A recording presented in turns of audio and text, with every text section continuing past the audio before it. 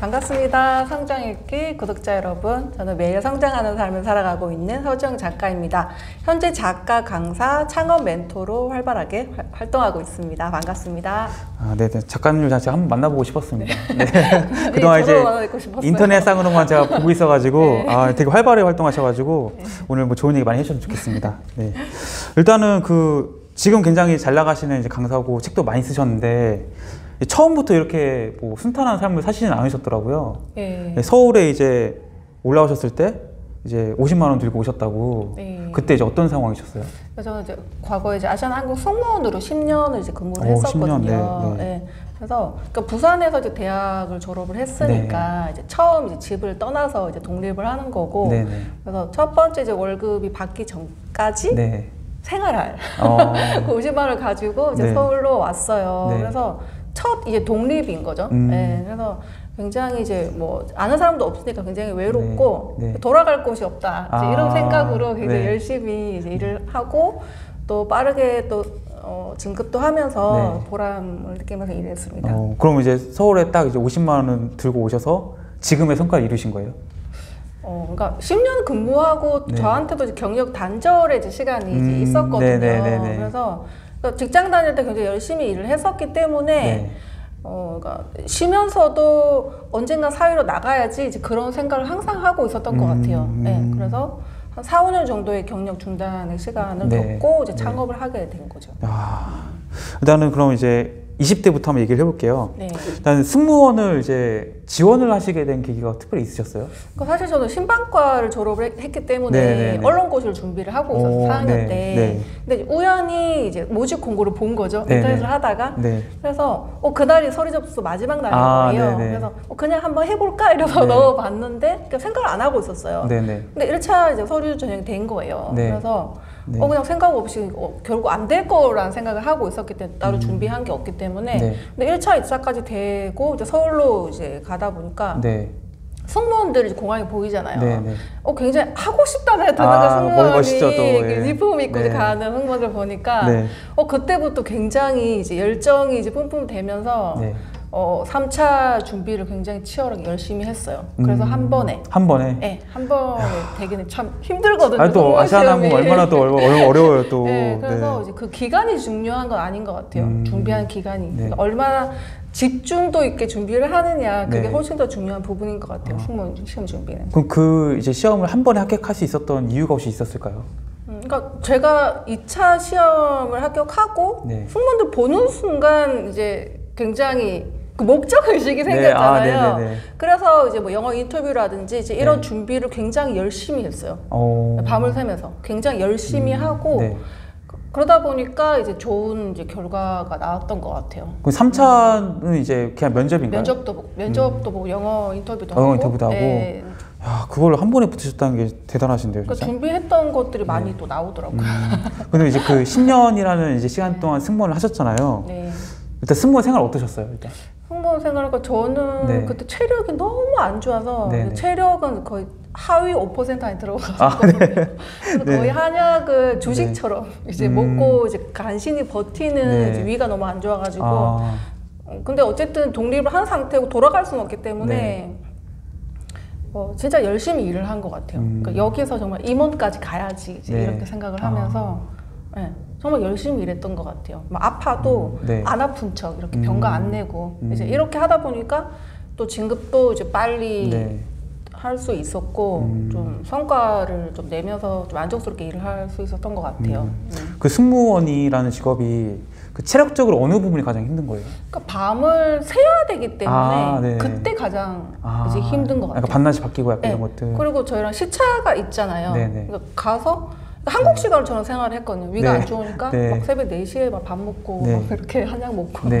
그러니까 외국 나가도 한국 시간으로 생활을 했어요. 네. 어, 그렇게 해서 버텼던 것 같아요. 아. 그러니까 시차 정도 힘들고 음. 밤을 이제 꼴딱 새면서 이제 네. 장거리 비행하는 것도 음. 너무 힘들고 네. 음, 그런 것들. 아, 이제 그렇게 이제 내가 임원이 되겠다는 목표로 네. 이제 하셨잖아요. 근데 그 아시아나 항공이라는 그 조직 내에서 사실 이제 항공사에는 스- 스튜어디스 말고 이제 뭐 운전하시는 분, 항공 운항 아, 하시는 분도 있고 음, 다 있잖아요. 네. 그런 이제 조직 내에서 경쟁이라는 게 그 직렬별로 다른가요? 아니면은 결국에는 다 음, 똑같이 경쟁하게 되나요? 아니 그러니까 승무원끼리 끼리 경쟁하는 거예요? 예. 아, 그 여성분들끼리 경쟁이 심하겠네요. 음, 그러니까 남자분들은 네. 한5% 정도 아, 있었던 것 같아요. 음. 예. 그래서 네. 어, 여자들이 또 많은 조직이다 음. 보니까 네. 또 이제 여성들이 겪는 이제 그런 일반 그런 조직들 네. 그런 문제는 또 거의 없었던 어. 그런 장점이긴 했던 것 같아요. 그러면 이제 그 10년이라는 그 시간 동안 진짜 난 임원이 될 거야라는 각오를 엄청나게 하셨으니까 그 남들보다 좀 동기보다 빨리 좀 승진하시고 하셨나요? 예. 어. 그래서 네. 뭐 승무원 이제 부사무장 되는 굉장히 힘들거든요. 아, 네네. 예. 그래서 뭐 몇 퍼센트를 안 해줘요, 사실. 어. 다른 조직에서는 한그 네. 정도 직급을 좀 잘 해줄 것 같은데, 네, 네, 그래서 네. 너무 잘 진급이 잘 안 되는 음. 상태고, 네. 그래서 어쨌든 저는 열심히 하고 또 네. 회사에서 이제 뭐 필요로 하는 그런 자격이라든지 네. 그런 것들을 이제 빨리 이제 취득을 하기 위해서 또 노력을 하고 해서 음. 또 진급을 빨리 했죠. 어, 그럼 작가님 생각하시 조직에서 성공하기 위한 비결 있다면 어떤 게 있다고 생각하세요? 성실함은 기본인 것 같고요. 음. 성실함은 당연히 이제 그건 그렇죠. 뭔가 네. 그건 아닌 것 같고 음. 기본이고 네. 철저한 자기 관리가 필요한 것 같아요. 음. 그러니까 저 체력이 좋지 않다 보니까 더 자기 관리를 하면서 일을 했잖아요. 네, 네. 그러니까 건강한 사람들은 관리를 안 하더라고요. 그 음. 나중에 이제 몸이 아파서 그만둔다거나 아. 그런 일들이 많았어요. 아. 예, 그러니까 저는 원래 약하게 태어나고 체력이 네. 안 좋다 보니까 철저하게 관리를 하면서 일을 했는데 음. 오히려 이제 건강했던 친구들이 몸이 안 좋아져서 이제 그만두고 아. 예, 그래서 자기 관리가 특히 승무원은 승무원은 그 다른 네. 일반 직종도 마찬가지겠지만 어, 그런 자기 관리 진짜 중요하고 네. 또 이제 모든 조직에서 필요한 부분은 제가 생각을 했을 때는 네. 그 보수보다 많은 일을 하는 습관인 것 같아요. 아, 그러니까 네. 크고 작은 네. 조직에서 제가 일을 하면서 느낀 게 네, 네.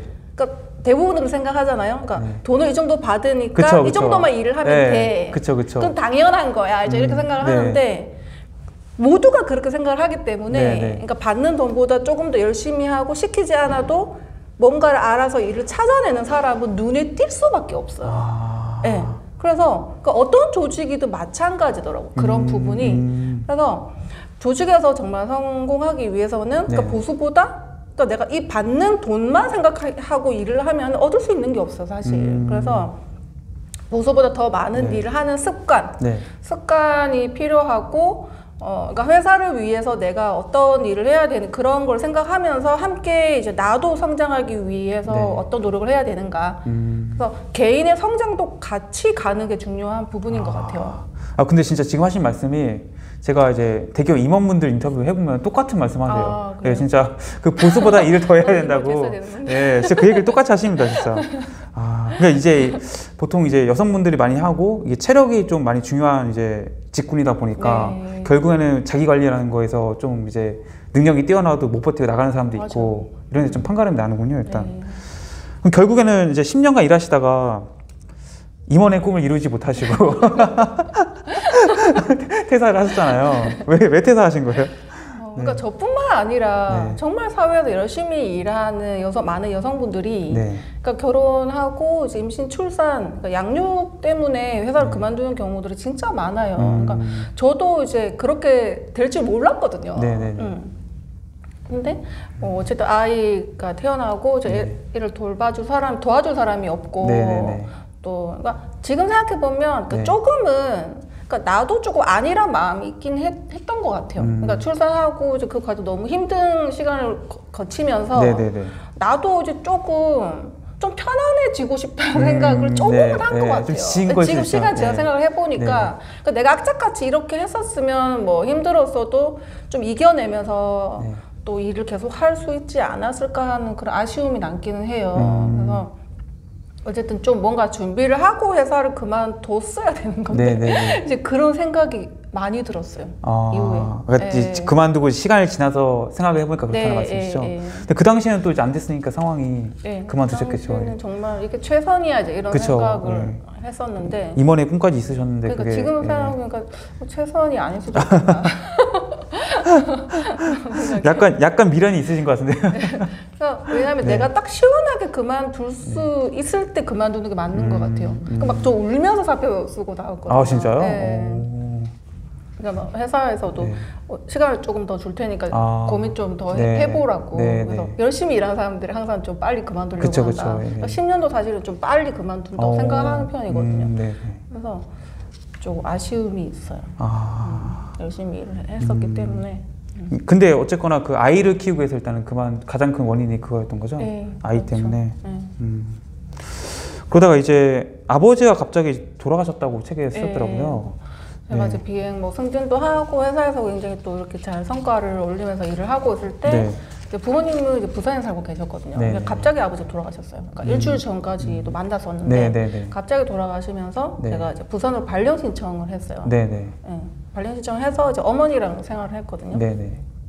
그래서 어, 그러니까 부산 갈 때는 다 뜯어 말려서 사람들이 그러니까 네. 서울에서 잘 네, 지금 잘하고 그쵸. 네, 있는데 또 부산 가서 네. 고생을 또 하려고 하냐 네. 이제 그렇게 했었는데 어, 잘 했던 것 같고. 네.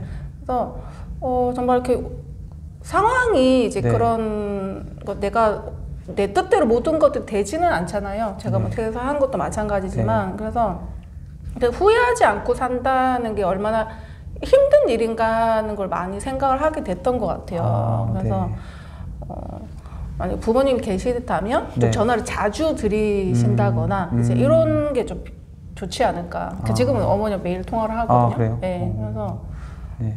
부모님들은 이제 네. 자식이 효도할 때까지 기다리지 않는다. 이 네. 말이 아, 예, 예. 맞는 것 같아요. 아.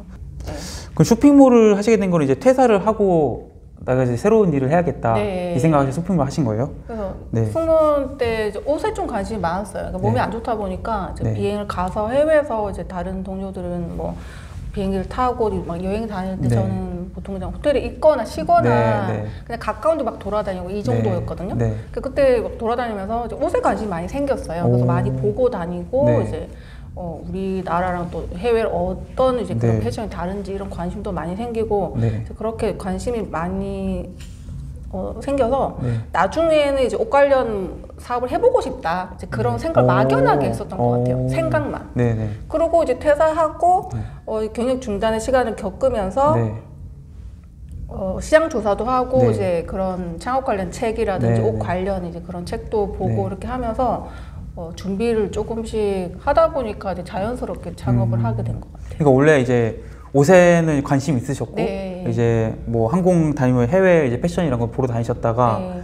이제 뭐 그걸 막 창업하겠다 생각 없었는데 퇴- 언젠가는 네, 네, 하고 싶다. 하고 싶다. 네. 그 퇴사를 하고 이제 뭐 이제 직장을 다시 갈 수가 없으니까 아 지금 해보자 네. 하셔 쇼핑몰 만드신 거군요. 네. 그럼 이게 스마트 스토어를 만드신 건가요? 아니요. 처음에 이제 블로그에서 판매를 오, 했거든요. 네네. 네, 그래서 그때 블로그를 처음 했기 때문에 네. 어, 이건 뭐 생각에는 내, 내가 생각하는 그런 글도 좀 쓰면서 네. 사람들이랑 소통도 좀 하고 하면서 네. 블로그라는 공간이 굉장히 음, 좋아졌어요. 네네. 그래서 자연스럽게 아 여기서 좀 판매를 해봐도 되겠다 이제 네, 이런 네. 생각이 들어서 이제 창업을 하게 된 거죠. 아, 네. 뭐 제가 이제 들어가 봤을 때는 지금은 이제 블로그가 아니고 아예 홈페이지가 있는 것 같더라고요. 네, 그러니까 블로그 마켓 마켓이 생겼잖아요. 네네. 그래서 블로그 마켓에 상품을 올리고 네. 이제 사이트가 있죠. 음, 네, 본인, 버스 네, 쇼핑몰이 있어요. 네. 어, 뭔가 처음에 잘 되셨어요? 어땠어요? 사실 이제 처음에 이제 블로그에서 상품 판매를 하신 분들은 느끼시겠지만 네. 쉽지가 않아요. 그쵸. 그러니까 네. 그 판매까지 네. 뭐 적어도 몇 달은 소요가 되거든요. 음. 그러니까 처음 또 블로그를 시작한 사람이라면 네. 더더욱 이 시간이 그쵸. 필요해요. 예. 그래서 저는 지인도 홍보를 잘했어요. 지인. 예. 그러니까 음. 지금 생각해보면 그때 어, 어떻게 그렇게 영업을 했지? 영업 잘 못하는데 그런 생각이 들 정도로 네. 막 명함도 만들어서 오. 블로그 주소랑 이렇게 네, 써서 네. 하고 뭐 네. 아는 사람들이 또 지인들이 많이 소개해주고 해서 네. 이제 블로그에서 매출이 일어나 전까지는 지인들이 많이 도와줬어요. 음. 음. 그래서 그 기간 동안 잘 견디 견디면서 또 자연스럽게 네. 이웃들을 또 단골로 만들면서 음, 또 결과가 좋았던 것 같아요. 음, 그래도 그게 이제 옷이 뭐 좋았으니까 저는 팔렸다고 생각이 드는데 음. 작가님이 이제 판매하시는 뭔가 옷들의 뭐 특징이라든지 뭐 컨셉이라든지 혹시 이런 것들이 있나요? 그러니까 저는 이제 네. 승무원 시절에 이제 많이 다니면서 뭐 온단이라든지 이런 부분들을 아. 좀 많이 관심을 많이 가, 네. 가졌거든요. 와. 그래서 좀 가격이 뭐 그렇게 싼 제품을 판매하지는 않았어요. 음. 근데 가격이 다 네. 비싸다고 해서 다 좋은 건 아니거든요. 그쵸, 그쵸, 예. 그래서 가격이 좀 있지만 네. 그 가격보다 조금 더 가치 있는 그 상품을 좀 발굴하기 위해서 좀 음. 발품을 많이 팔았던 것 같아요. 어, 음, 그러니까 소재도 좋고 네. 어, 명품은 아니지만 명품처럼 좀 오래 입을 수 있는 네, 네. 음, 그런 옷들을 찾으려고 많이 노력한 것 같아요. 아 근데 신방과 나오셨는데 이 소재까지 하실 정도면은 진짜 공- 공부를 많이 하셨나 봐요. 그러니까 보고 네. 많이 보고 다니면서 네. 이제 관심이 많이 생기다 보니까 네. 네. 운영하시면서 좀 어려웠던 점은 없으셨어요 쇼핑몰? 어, 초기에는 아무래도 거래처와의 관계라든지 이런 그 시장 도매 시장의 문화를 잘 모르다 보니까 네. 어, 그런 도, 도매 친절하지 않은 네. 도매, 도매 사장님들의 네. 이제 그런 반응이나 네, 동대문 너무 시장 뭐 이런 거 네, 거예요? 너무 힘들고 네. 또 어, 불량 화를 많이 내시는 불량 고객님들 네, 네, 네. 굉장히 대처 이런 것들이 네.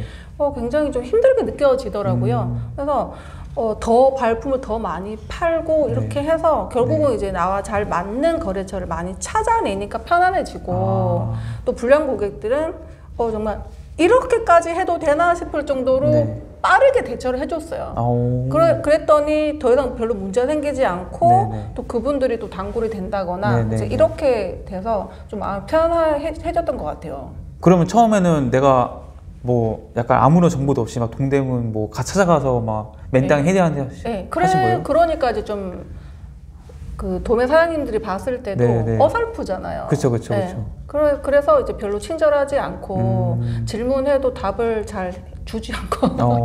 어, 뭐 물건 주문해도 네. 뭐 늦어져도 이제 빨리 이제 연락해주지 않고 네. 이런 것 때문에 굉장히 아. 뭐잠못 자고 이렇게 스트레스 받는 날이 많았거든요. 근데 거래처를 더 많이 좋은 거래처를 많이 찾아내면서 좀 편해졌던 것 같아요. 그럼 이제 그 몇 달 정도 하시니까 이제 좀 자리가 잡히시는 건가요? 그래도 3개월에서 6개월 정도는 어.